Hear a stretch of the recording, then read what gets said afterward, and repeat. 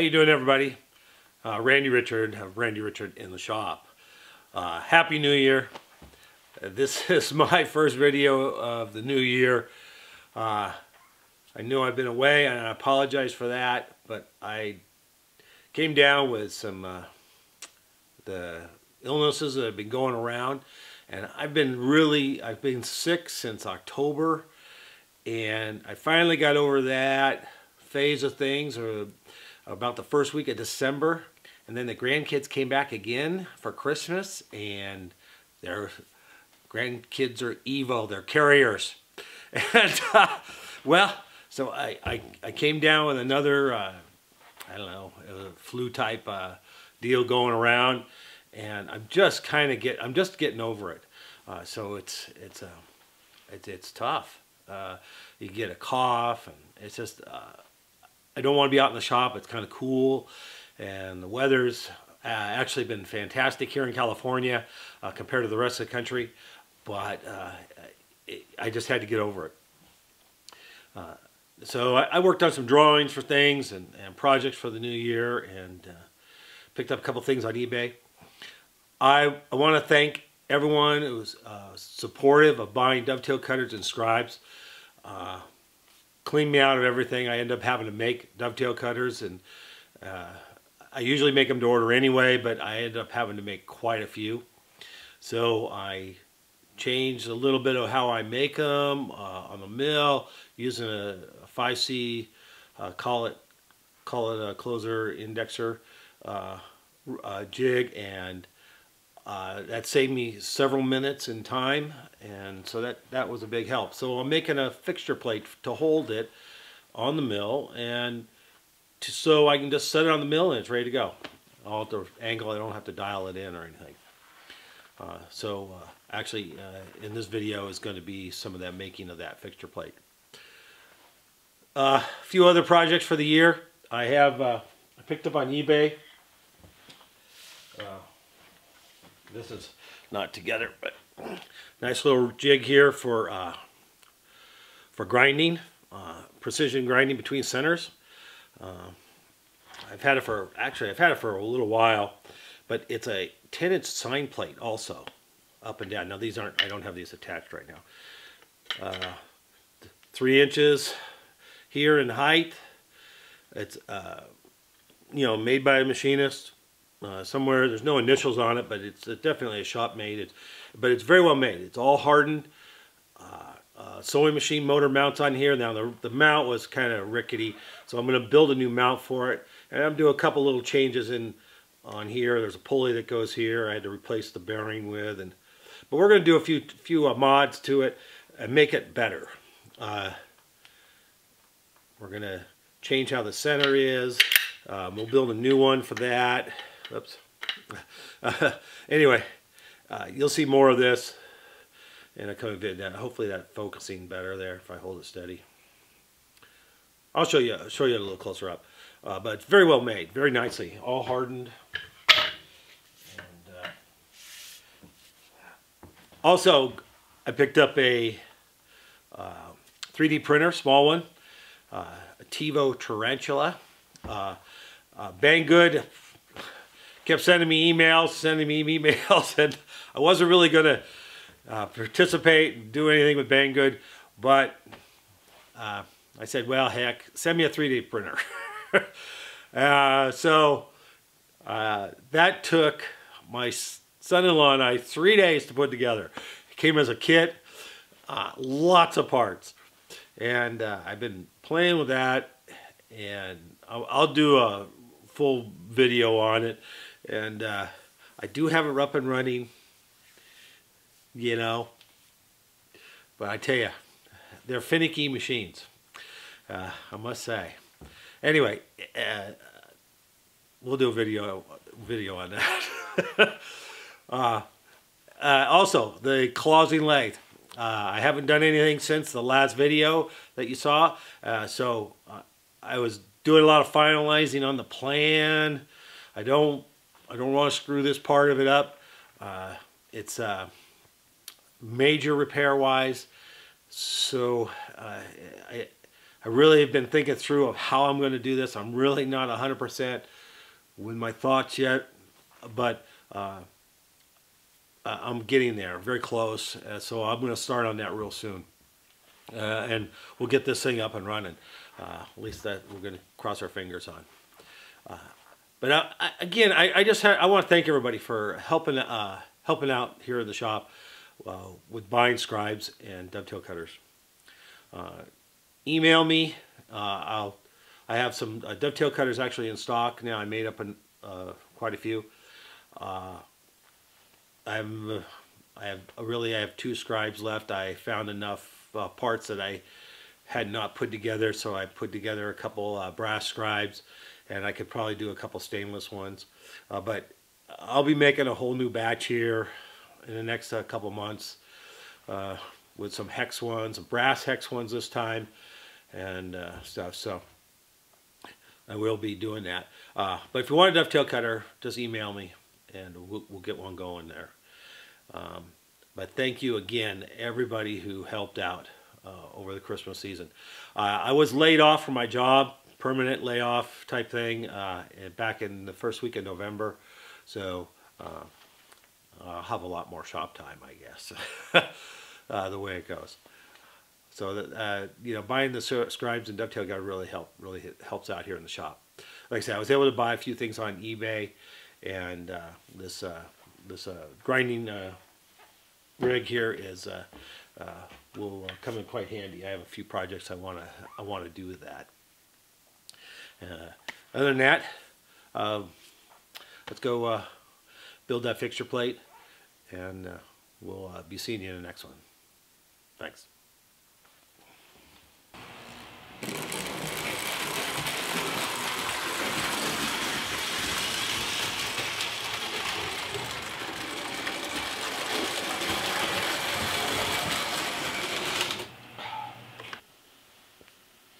Hey Steve, it's hard to see, but I engraved your logo on one side of the hammer. Uh, I don't know you can see, make out the shark, huh? And on this side, I put my logo. Kind of hard to see. Anyway, if you want the uh, file, no problem. It's a G-code file. I'll send it to you. Thank you, Steve, again for the hammer. Very nice.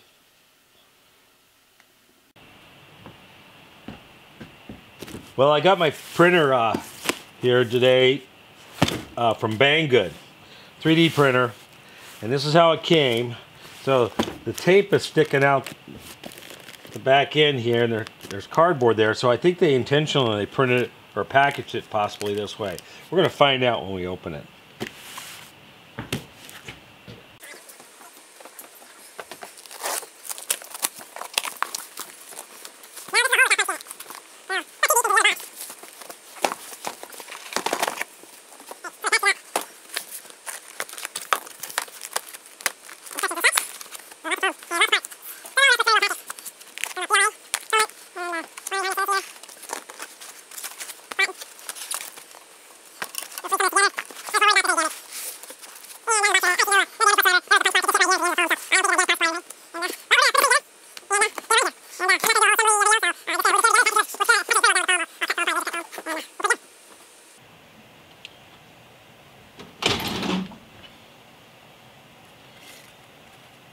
Finished my first 3D print of something that I designed.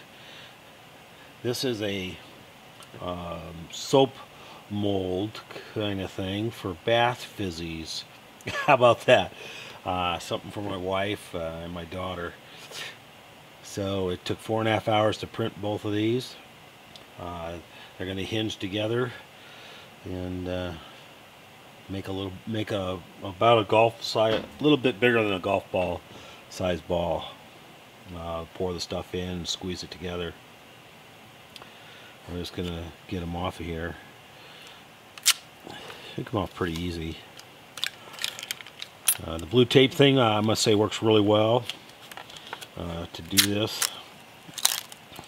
Yeah it just came right off. Very nice finish. I had a 0.2 millimeter for the layer height and uh, came out pretty doggone good. Little hole right there, just kind of holidayed there on me, but this is a structure, support structure. Probably didn't really need to do that. The way the the ball formed, it it, it really didn't need to do that. Uh, the bottoms come out really nice.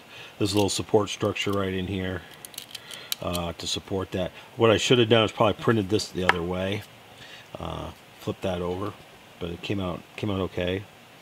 And I think a little too warm. Uh, I changed the temperature right in this zone here. This is uh, didn't show a collapse, but a little deformation. The rest came out good. I, uh, I, I, I, tuned the temperature while it was printing, and I think that uh, worked out pretty well. Uh, maybe a little too warm. It's got to be pretty warm on the bed to adhere when you do that first layer. And uh, but I think I had a little collapse. So, but not too bad. Uh, other than that, I'm pretty happy with that. Um, pretty happy. Anyway, I'll break this stuff out, clean this uh, structure out, and uh, we'll see how they go together. Alright, I broke these out, just grabbed my fingers and they came right out. And then I did a little knife cleanup on the inside here. But these uh, inside here came out very nice.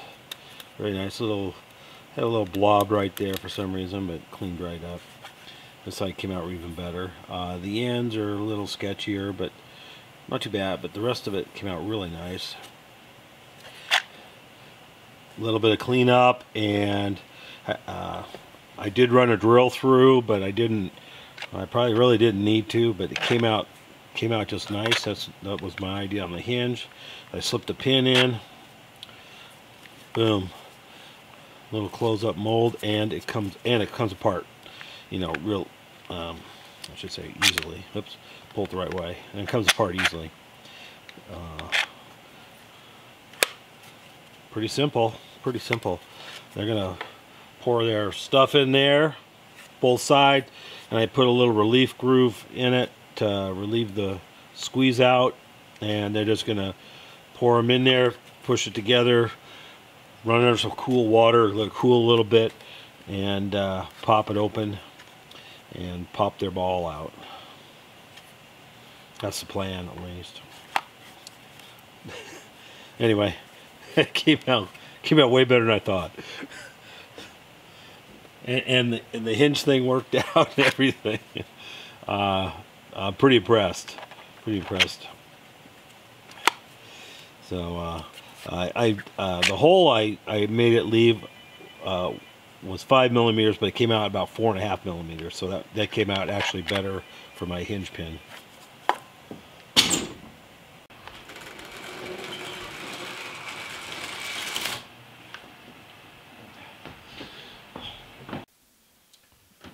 Little bit of a close-up of uh, this grinding uh, fixture. Uh, this is the this, it's sewing machine motor. And I'll probably pick up a small uh, speed control for it and and uh, so we have a little bit better speed uh, so there's no speed speed on control with it now. I'm going to build a new mount for it. There's some mounting holes right here on the headstock and we we are going to come up with a, a, new mount for it so it's a little firmer and uh, positioned a little bit better there's a pulley that goes on here with a bearing that slips on here uh, to drive it with a dog. Uh, these centers, uh, uh these, these fit really qu uh, quite loose. They're kind of sloppy. I, I, think I can do better on that and better fit. But this center, I want to make it not just a 60 degree point here, but I want to have a center drilled point on this end. Uh, so you could put a so you can grind something with a point on it you know like a live like fix up your live center on your lathe and things like that that you can put in here and put a point in so we'll have a dual ended one kind of like the Harig that uh, Stan if you've seen Stan he bought a Harig a brand new one I think uh, the way it looked and uh, this was uh, quite a, quite a bit less. I think the new Harig a new Harig one's around twenty six hundred dollars, uh, and uh, they're pretty pricey. Of course, they're very nice and all that. Uh, I picked this up for about three fifty uh, on eBay. Anyway, so we're gonna fix that up with a new, probably a new center, and uh, a little bit better setup on this end, a little and better fitting. There's uh, uh, about two or three thousandths of play there, and I think I can get that a lot, a lot better. And on this end here, this is a, I'll just take this out. This is spring loaded, and they got a, a, screw with a hex head. We'll make a new one for this, and and uh, make it so it has a nice knob to pull on. And that's uh, this this is uh, fixed in here in your headstock, and then you you you can pull you pull that back against the spring right here. You pull that back to release your part uh, like the Harigs have that same feature. And we're going to fix this up a little bit too. Uh, and I and I'm going to make I'll probably make a whole new one here. Actually I'm probably going to rebuild almost all of it except for this little plate. So it fits better in the headstock. The, that this is kind of a sloppy but when you tighten it down it's solid but uh, I'd rather have it a little a little more solid you might say. A little bit better fixturing so that, that that's nice there. Uh, these uh, adjust uh, with a key. That's uh, what they register on is the key uh, in the center here. Uh, and and so you can slide this up and down or the headstock. Either one you can slide up and down the table here. There's a small little T-slots here for 1032 screw to go down and affixed to the table. The, the other nice feature about this is this is also a 10 inch a sine uh, between the center, between centers. Uh, so you can adjust and do angles easily. Uh, then uh, this feature here, which is, is which is a I've never seen before uh, anything like this. This is a, like a wedge, and you can adjust that so for if you're out of square or minor adjustments on an angle if you have a set of gauge blocks sitting there. And uh, you uh, can adjust that in and out uh, to get any taper you might have uh, in in your grinding. As you if you have a little bit of grind you can adjust that a tiny bit and get your taper that you might have out up and down. But it's a pretty pretty nice little rig there uh, it's all all been ground. And then they got some uh, uh, holes here. I, I don't know what they're for but they're tapped 1032 uh, to uh, either secure to a table or and such. Um, but they've all been all been hardened and ground very nicely made. So that's going to be a that'll be a nice nice deal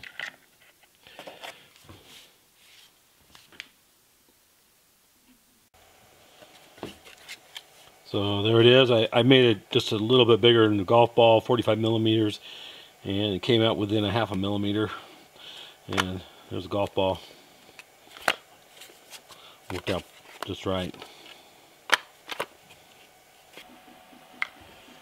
I picked up uh, some white lead actually on eBay.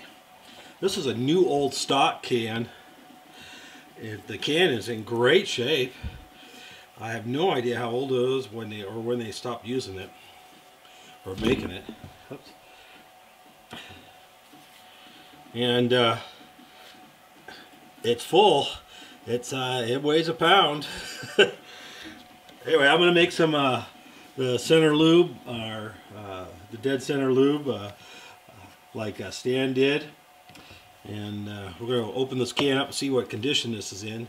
Uh, wouldn't surprise me if it's dried out and uh, the contents are uh, basic carbonate white lead and pure linseed oil. And that's a 90% white lead and 10% pure linseed oil. So that's all that's in there. And uh, we'll just uh, probably have to grind it up. Uh, I imagine. And uh, we'll add and redissolve it with linseed oil uh, do like Stan did. And so uh, I'm going to mix it like, you know, like Robin uh, Renzetti uses here, anti-scoring extreme pressure lube number three by CMD. Picked up some of that. And uh, we'll go we'll go through the process here. Also, you'll see my 3D printed logo. I got it. Uh, my other ones, the lettering was backwards, or mirror image, I should say. And as I, I modeled it in Fusion 360, and I used the Z-axis positive on everything. Well, it was mirror imaging it. I don't know why it does it. I haven't figured it out, but what I did is I did a negative Z on the letters. So I came through the other side of the model, obviously. Uh, and when I printed it, you know, it, on the computer, the model looks like the letters a mirror image. But when you print it, it comes out right. Why is it flipping it? Why is the software flipping it? Uh, or what? But I, I, I don't know. Uh, it actually came out pretty darn good. I don't like this uh, PLA this stuff here, this is a, a very hard to get the settings uh, to uh, right to to get a decent print. It's um, I don't like this stuff. This came with the printer, and uh, I have some new stuff here by AIO, and I'll be I'm working trying to actually just print finish printing something with some of that stuff and working on the settings uh, to get a good nice print uh, from that stuff. 3D uh, printing takes a lot of time especially to get things right. Anyway, that's what that's for. That's for just throwing down in the video uh, so the logo's there and stuff. So anyway, back to the, the white lead. Let's open it up and see what the condition is. I couldn't believe I found a can of this uh, with with something in it. Now there's a lot of cans without anything in it on eBay, but uh, I got lucky and found a can that was supposedly full, and fairly hard. it looks like it was sitting maybe on its side somewhat because the way that hardened out. It's, oh, you know, it it's crusty hard, but down, you know, it it breaks up. So we'll be able to break. We'll go dig some of that out. We'll uh, and uh, we'll, we'll we'll get it pulverized and add some uh, linseed oil.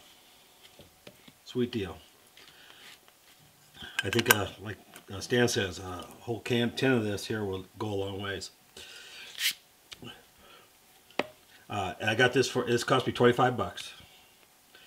Uh, like I said, you'll find a bunch of cans of it. They're empty cans, though, uh, on eBay. Um, but uh, I, I, I, I did score a full one, so...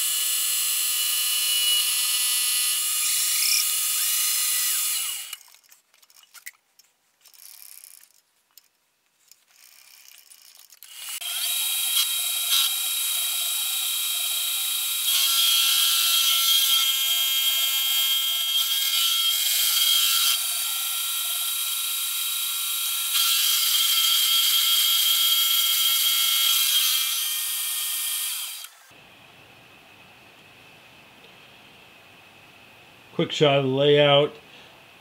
We're going to cut a 30 degree angle groove in here. Uh, then we'll reset and we'll be drilling some holes, four holes to mount on the table. All right, we're all set up here. We indicated off this this side here. That's the going to be the back edge. So we have a we set it up at 60 degrees, uh, which will be a 30 degree angle uh, when we're done. So uh, anyway, we're going to cut that groove right here to, and it's going to fit this key. This key is 472. So that's going to be our groove width.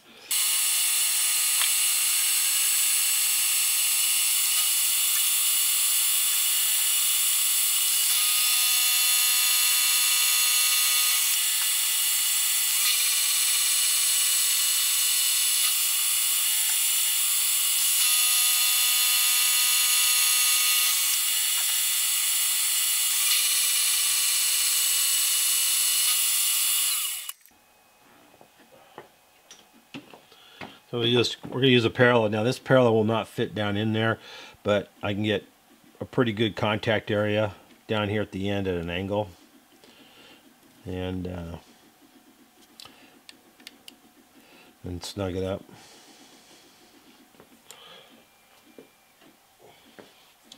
Measure that with a mic and uh,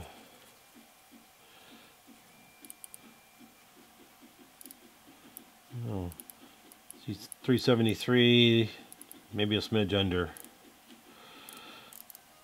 That's okay. That's we're looking for uh, 374. I mean 472. I'm sorry. We're looking for 472. So about a hundred thousandths would be just right. So we're going to go over uh, calculations. says 97 thousandths. We're going to go over 95 and remeasure it. I'm just using WD-40 here uh, in the bottle.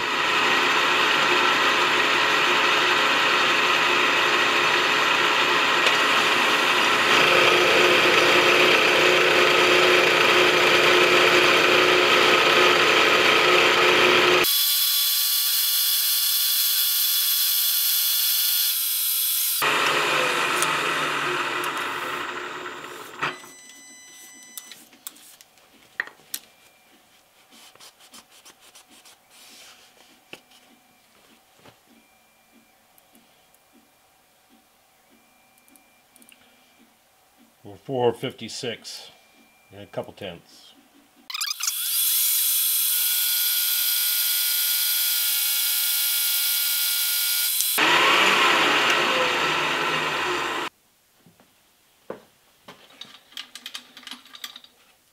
I flushed up the back with a parallel.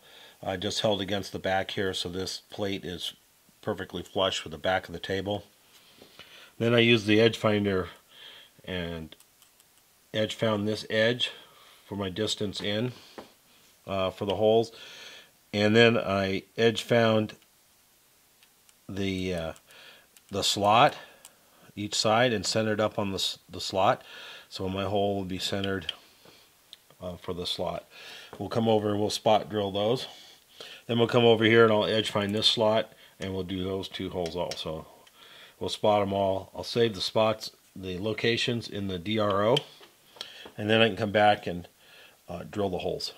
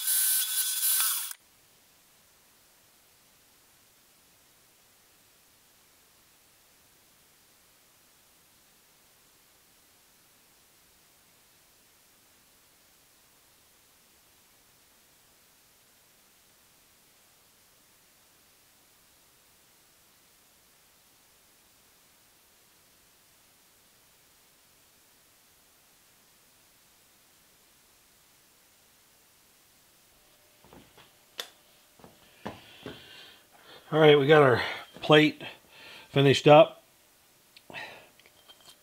That'll blow out the chips, I guess.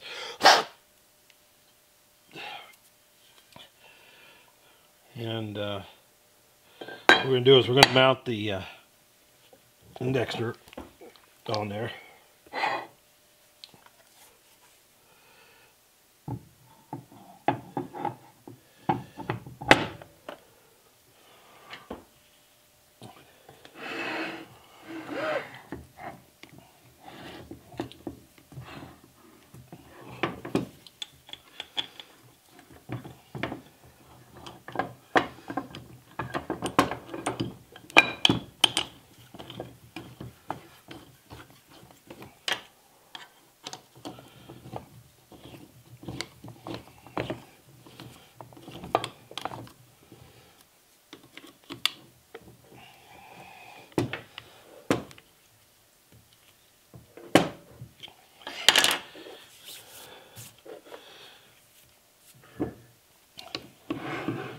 Now we'll go over and uh, put it on the mill and we'll do some measurements to see how accurate we got it.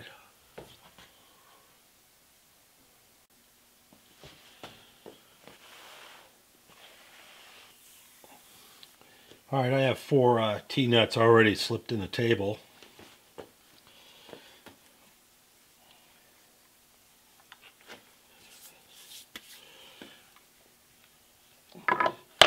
Fence goes up tight against the back of the table. And we need to go down.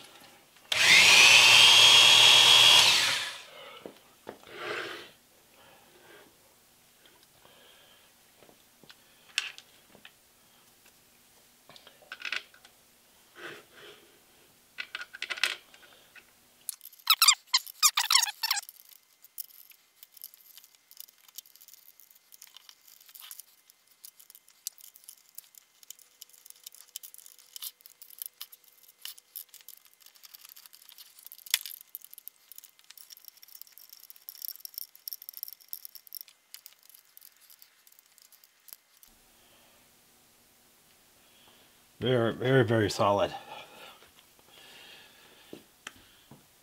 So here's my uh, setup. I threw it on there, pulled it up tight against the back, and snugged it down. I have a three quarter inch, we'll take this out. I have an th old three quarter inch end mill, carbide end mill in here.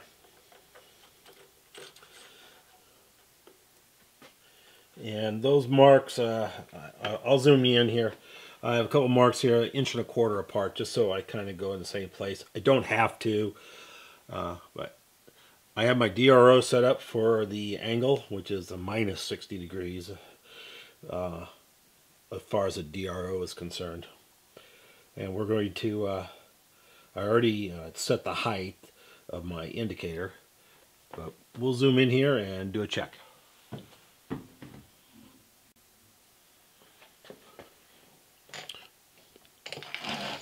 Gonna, we'll start over here. Doesn't really matter. So I'm gonna bring it in and we'll at zero. I'm gonna go up and down a little bit to make sure we're on hot the crest and it's right there. Yep. We'll come back.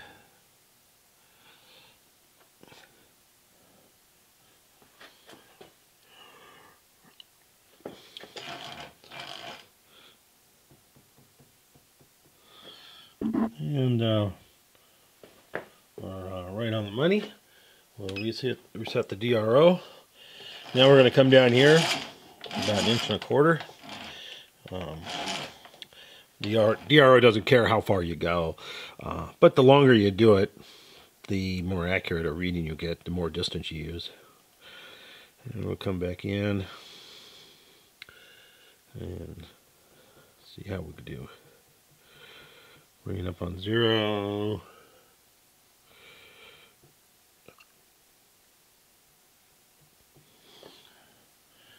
And the DRS says I'm 8 tenths out. For all intent and purposes, for what this is, uh, that'll be just fine. uh, 8 tenths is not bad.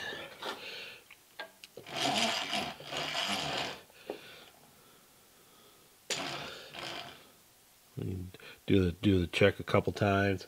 And you know now it says it's uh, six tenths. So.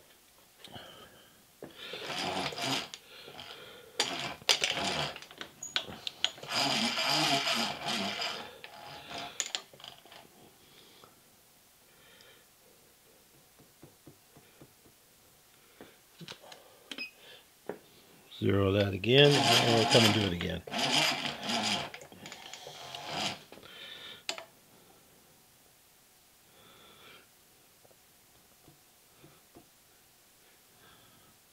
So that's uh, 8 tenths again. Uh, what we could do is we could always uh, try rotating it, which it, it probably, oh here, you just rotating it shows you quite a bit. About four thousandths. Yeah, we'll always we'll try turning our DR, turning our end mill a little bit. But when I when I do the dovetail cutters, uh, I leave it indexed in one position. I don't rotate it or anything, so.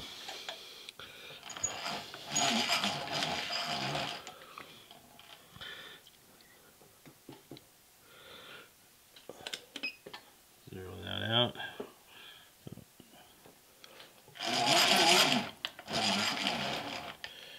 We'll come back in again.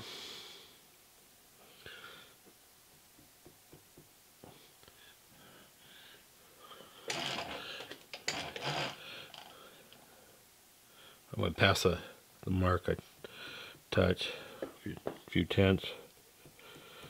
Uh,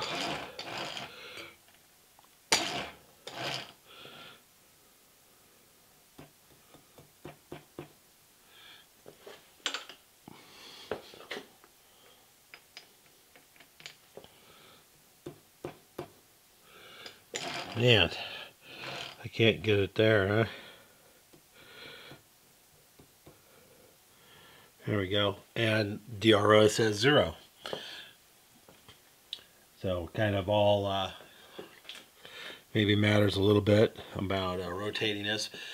But I can always uh, put my end mill in and do, I'll do a check and then I'll always leave it in that index position. So I think this is a, a great, great success.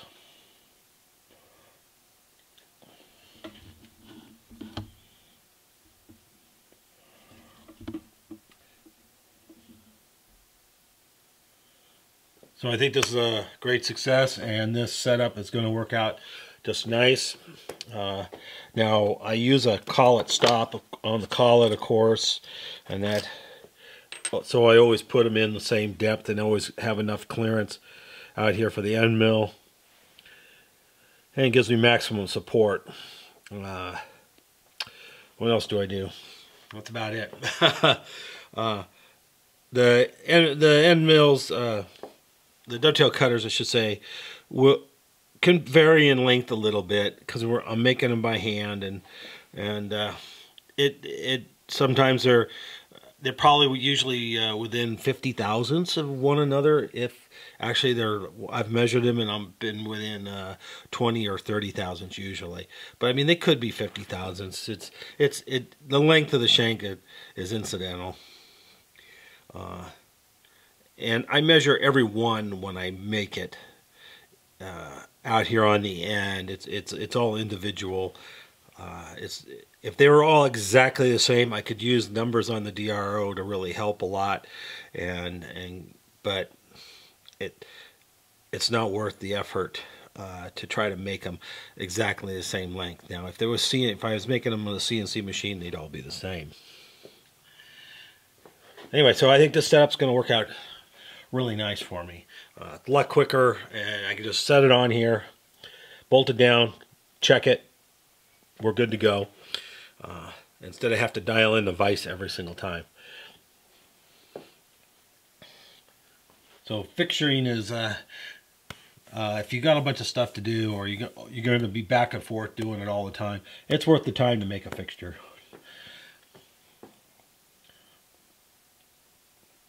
So uh, thanks you guys, and thanks for watching.